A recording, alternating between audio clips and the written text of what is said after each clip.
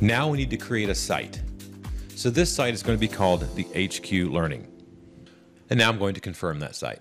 A connection wiring diagram does pop up to make sure you did understand how the connections should have been made.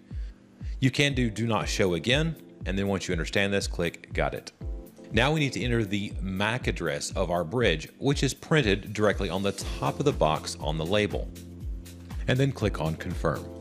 You see here it has found a bridge device, the bridge ID, this number, the 2761, or whatever your number is for your bridge, will match the label that is also on top of the bridge where you found your MAC address.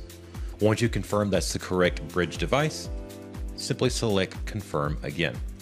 Upon confirming, it's actually reaching out and looking to see does this bridge device need an upgrade before proceeding.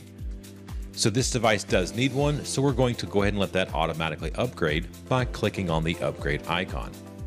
Now we get a prompt that tells us it is upgrading. Do not power off the device or reboot during this process. You can choose to sit here and watch this complete. It takes about one to two minutes, or you can select the got it if you wish to complete some other task on your PC while this process performs. And once the update is complete, you do get the prompt that pops up to let you know your device is now up to date and simply select on the word got it. So now that our system is up to date, we will simply click the next icon.